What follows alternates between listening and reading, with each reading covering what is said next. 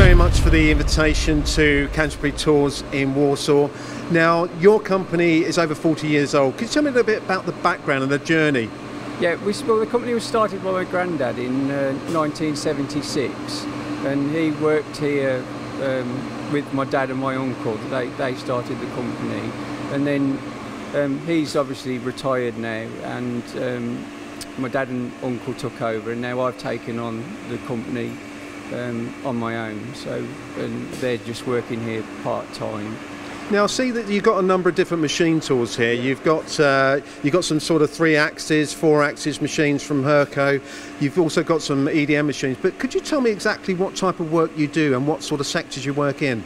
Yeah, it's mostly automotive, and we do some work, quite a bit of work for the lock industry. So um, we tend to do a lot of press tools. It's our main um, sort of area of expertise, and then we're quite um, into the machining, so we do a lot of hard milling, a lot of finishing, um, and that's our basic sort of. We don't really go much further out, out of the field than that, so we just try and keep to what we know really. And today we're here on behalf of uh, Warwick Machine Tools. Now, you've invested very heavily in this V650G Y machine from Warwick Machine Tools, the Excetek. Now, can you tell me a little bit how you came to that conclusion of this machine when there is other leading brands in the marketplace? Yeah, well, we looked around at um, three or four different machines, like the Agie and Mitsubishi and uh, and we found that the Excetek really offered everything that we needed the, the other machines at a much higher price level. It was as, looked as good a quality, the feed was as good, which was the main thing we were looking for. We were looking for a machine that would constantly feed. Because it doesn't matter how good all the rest of it is, you come in the morning and it's not fed the wire, you know, you, you, there's no point.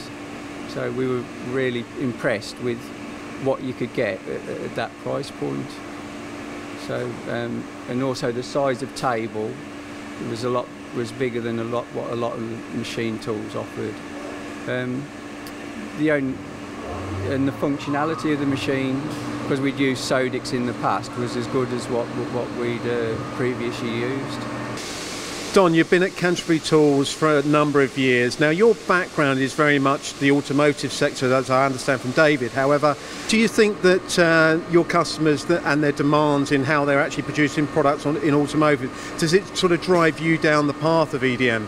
Yeah, because also with EDM, it, it, because the tolerances nowadays are really tightened up on, on, on production of parts, you can get down to a, to a lot better tolerance on, on the parts that you produce. And does this give you lights out engineering as well?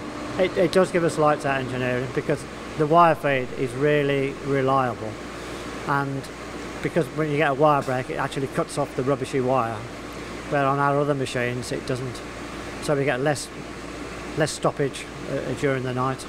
And when you look at uh, the future for Canterbury Tools, would you see that if you're going to go down the EDM route again, it would be another Excetek? It would be another Excetek, yeah. They're, they're really well built machines, and uh, to be honest, we were quite surprised how well built it was for the price.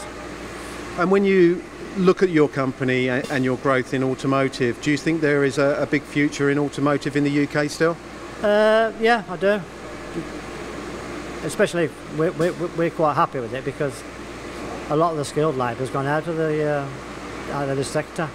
So there's, there's actually loads of work about if, if you're any good.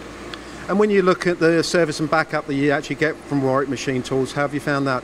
Uh, it's excellent. Um, I, I, deal with um, Paul, and any questions I've got, he, he, answers straight away. I just text him, and he gets straight back to me. So, any engineers that may be watching this video and looking at uh, maybe some, some of the bigger brands in the EDM sector, what would be your message to them? Uh, certainly have a look at the Excetek.